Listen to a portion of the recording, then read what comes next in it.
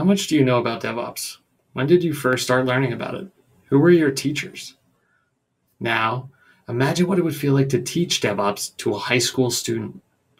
Our next speaker, Daniel, is already doing it.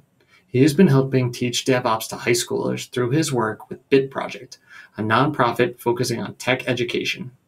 In this talk, you'll hear about what it was like to make DevOps accessible to beginner developers. You'll also see some student projects that incorporated CI CD and infrastructure. I think you'll also feel pretty inspired about the future. Enjoy.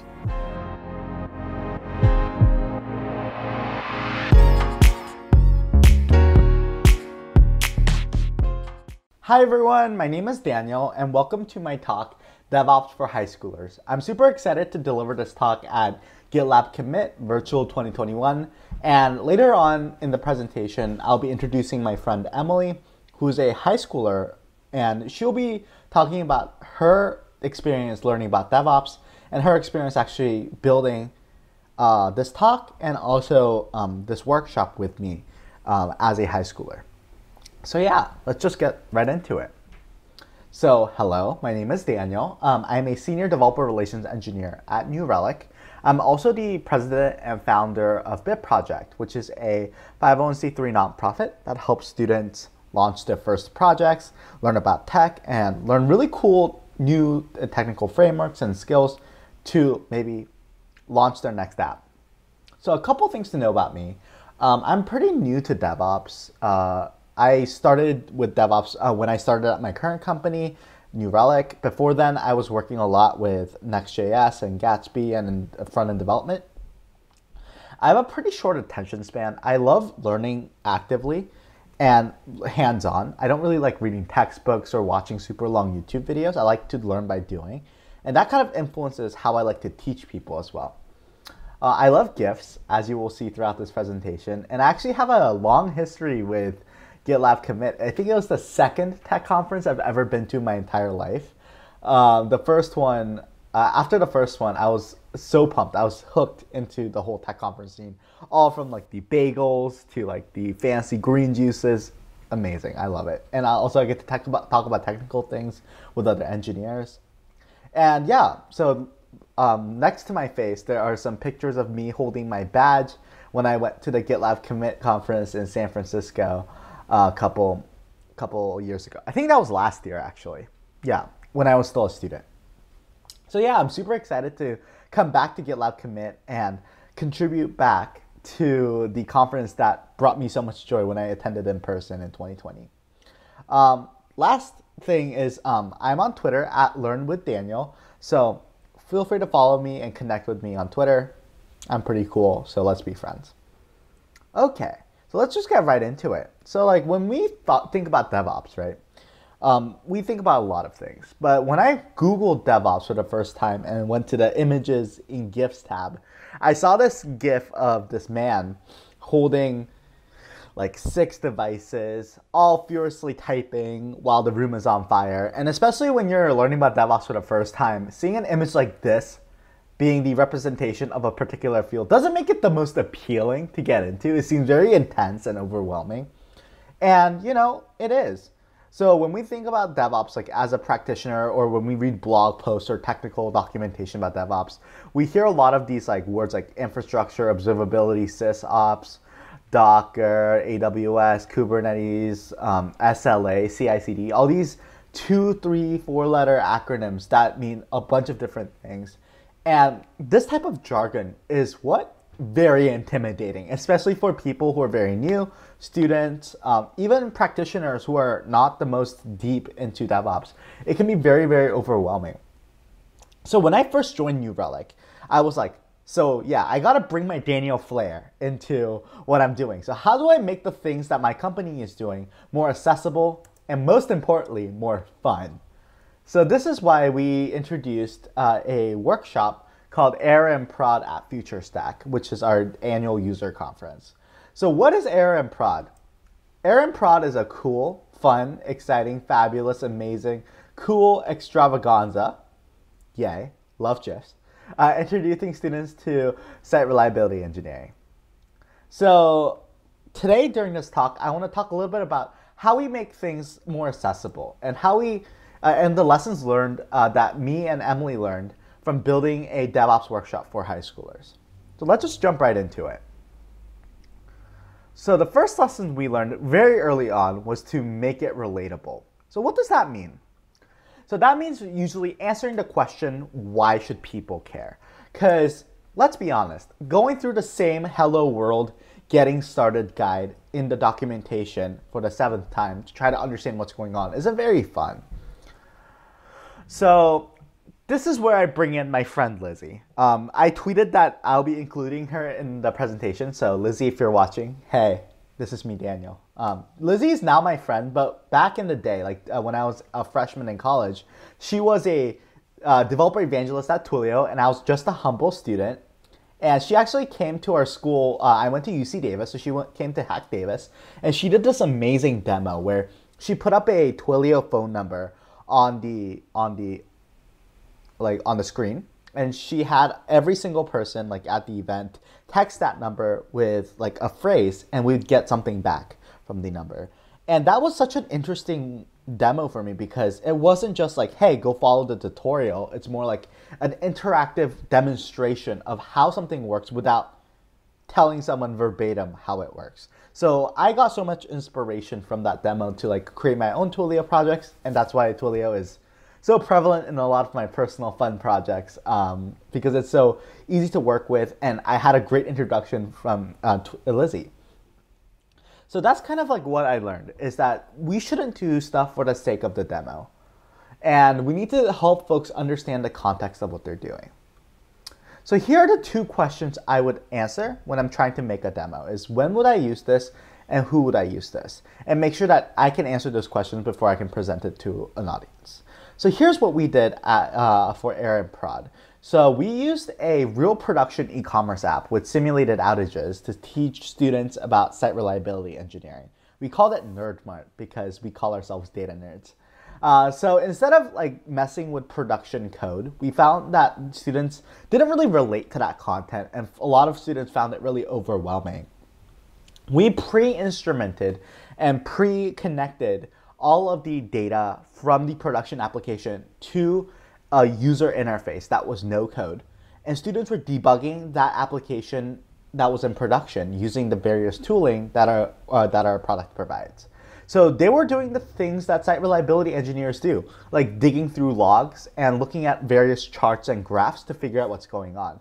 Because that introduces the high level concept of what site reliability engineers do and what kind of data they have access to but without going so deep into the stack where we actually touch source code.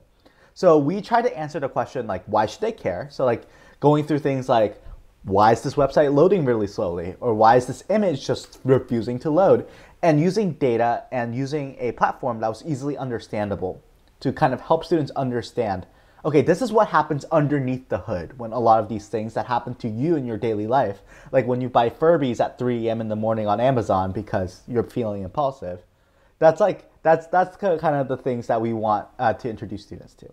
So yeah, now I want to introduce Emily. Emily is a high schooler at Panther Creek High School in North Carolina, and she was instrumental in bringing this workshop to life. So yeah, take it away, Emily. Hi, my name is Emily, and I'm a student DevRel at Bit Project, which is a nonprofit Daniel actually just talked about. A part of that, I'm also a rising senior at Panther Creek High School.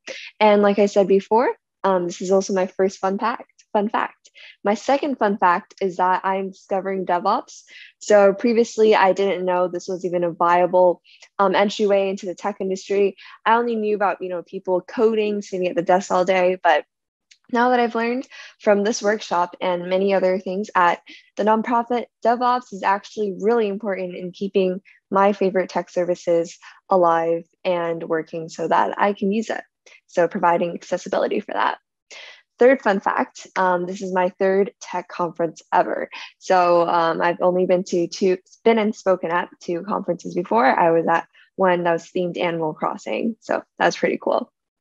But let's get started. So Daniel just talked about why and how we can make people um, interested in this. And and the question we answer the questions of like you know why would they use this and how would they use this And by doing that, we're really pulling them in, pulling them in, we're grabbing their attention. However, how do we keep that attention? Well, we can have a story. And I'm going to start this off with a couple of games that I'm very familiar with. I'm not sure if you guys are, but how do games keep children engaged? So, as a kid, I played a lot of Poptropica, I played Club Penguin, and my friends played MapleStory. Um, these games all have one thing in common. They all have stories. So, like in Poptropica, there were different islands, and you could play at each one. Like there was a Diary of a Wimpy Kid island.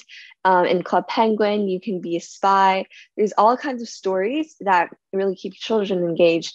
And surprise, these um, tactics actually apply to students and very often even adults. So, um, since we have stories, of course, we got to have characters. And um, in our case, having characters keeps students more engaged and obviously is essential to good storytelling. Like, name one story that um, doesn't have a character. That's just not possible. In Cl- Poptropica, you were the main character. In Club Penguin, your friends could be um, the dojo master, etc.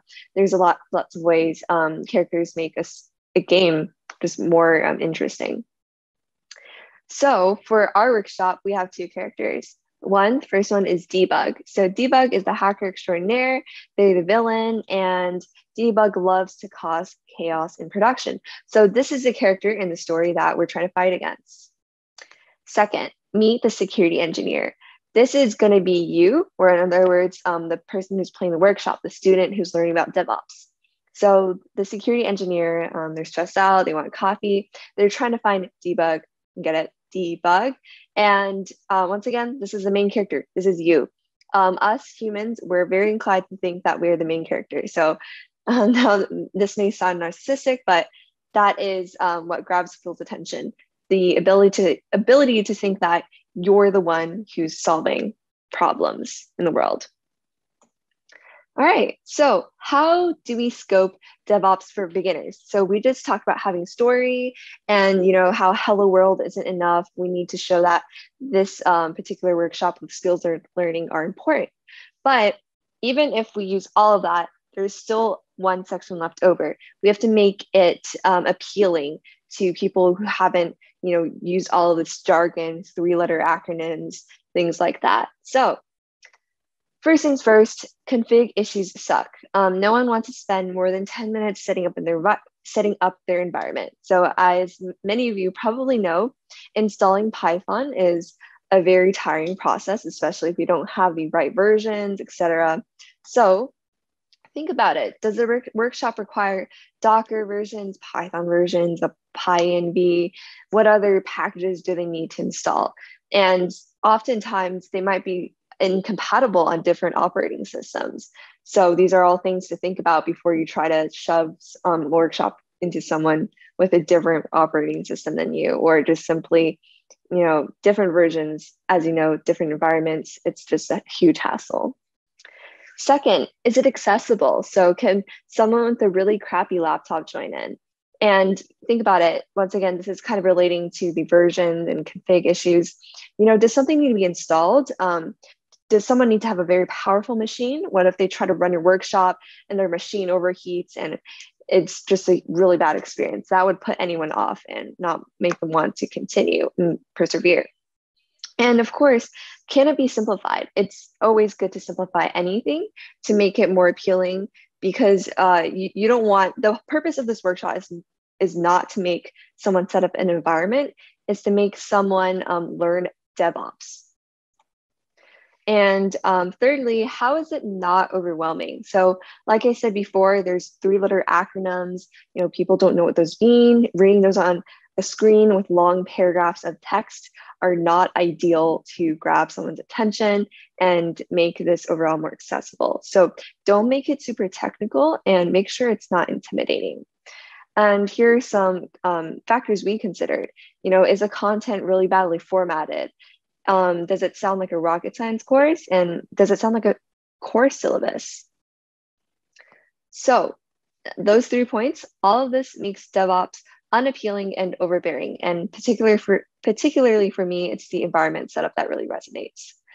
And so how do we make it engaging? And finally, we're at the conclusion.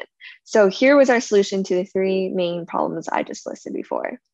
One, our workshop is all in browser, so it's very accessible. They don't need any coding skills to access it. Um, and since the concepts are so foreign, we don't want to um, push more new coding, um, new new uh, languages or syntax onto them. And we do not want to introduce unnecessary complexity. So everything's in the browser. Anyone, even a Chromebook, could access it. Two, it's a game with leaderboard and prizes. This is a very large motivator for a lot of people. I personally am very motivated by leaderboards, earning points, seeing my username climb up the screen. That's always something that um, keeps me engaged and keeps me wanting to continue playing.